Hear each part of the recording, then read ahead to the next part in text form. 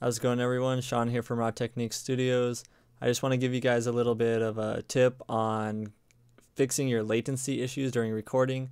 If you're getting that um, echo in your headphones when you're trying to record and it's throwing you off, well there's a way to lessen that sound and that is with the buffer size. So if you go up here to setup, playback engine, you have your buffer size right here.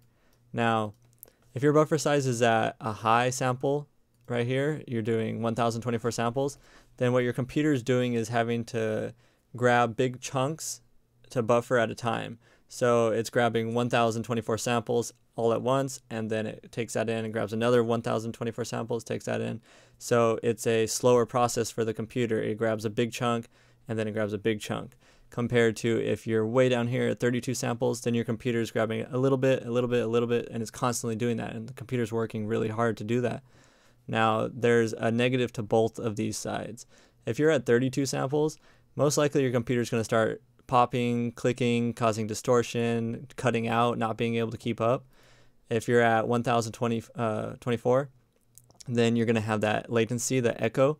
So what you're trying to do is find an in-between uh, samples so that your computer is able to keep up without causing any issues during recording and you're also not getting too much latency in your headphones. So what I would do is start high. I'd go to the 512. If it's still too much latency for you, then bring it down to 256. If it's still too much, go down to 128. But I wouldn't go any lower than that, at least not with the computer I have. It can't keep up after that. So let me show you an example. Let's go to the highest sample, press OK, and I'm going to record enable this track. Check, check, one, two. As you can hear, I'm getting a uh, latency when I have that record enabled. So that could throw somebody off when they're um, singing or rapping. And what you want to do is lower your buffer so you get less of that. So let's go down to 512. Check, check, one, two. So that one's actually pretty good. I would probably start with that. And if the artist is still uh, wants it to have a little bit less latency, I'd go down one more, but that already sounds okay to me. Now I'm going to do the drastic version, go all the way down to 32 samples so you can hear what it does.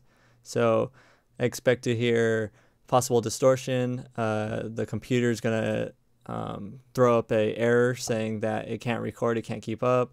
Uh, there might be some popping sounds, just stuff like that. So let's take a listen. Check, check, one, two, check, check, check. So what I'm going to do is record a little bit and see if the computer can keep up. No, I didn't even get to record anything. It, it went straight to this error, CPU overload error, uh, try increasing the buffer size. So right away the computer couldn't keep up and it already tells you you have to increase your buffer again. So you go back to playback engine, and then you just find the samples that work. Let's try the 256. That's probably a good one. And let's just record something. Check, check one, two. Check, check one, two. Latency is not too bad, and the computer is able to keep recording, so it's a good in between. All right, so that's a couple ways to help you, or that's one way to help you get your latency under control. And if you're having issues with recording cutting out and stuff, then you have to increase your buffer size.